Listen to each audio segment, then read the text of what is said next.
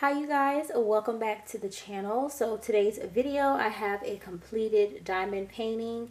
This is from Fansells. I will have it linked below if you're interested in this diamond painting here.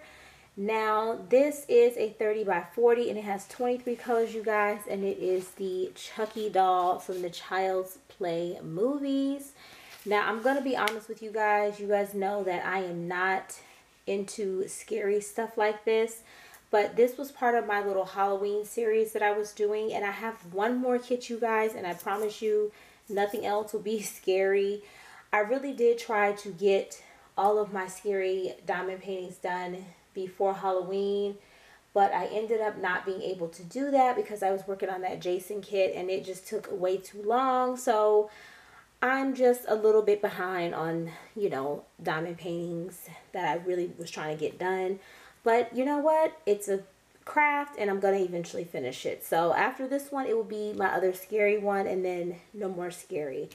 So like I said, this is the doll Chucky from the Child's Play movies. And um, I'm to just be honest, you guys. I don't really like how this one came out. Um, I do, however, believe it has everything to do with it being a 30 by 40. Like the size is just way too small and then up here in Chucky's hair, it's like he has a bad dye job or something.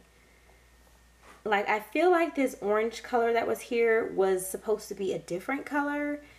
So it, it's just, it's throwing me off with the hair and then the background's kind of throwing me off because I'm not sure where he's supposed to be standing at and his clothing doesn't look the best. So again, this definitely needed to be bigger, but this is just part of diamond painting. Sometimes you get something and it's too small and needs to be bigger. But for the most part, the stickiness on this was fantastic.